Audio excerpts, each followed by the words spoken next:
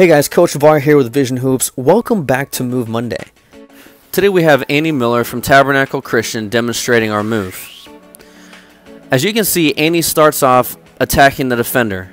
She puts the ball between her legs, then behind her back, pushes off with both feet to create separation before going up for the jump shot. Notice how Annie puts the ball between her legs and behind her back while pushing off with both feet, creating that separation. Guys, thanks for watching our video. We really appreciate it, and we'll see you on the next one. For more, check out visionhoops.net.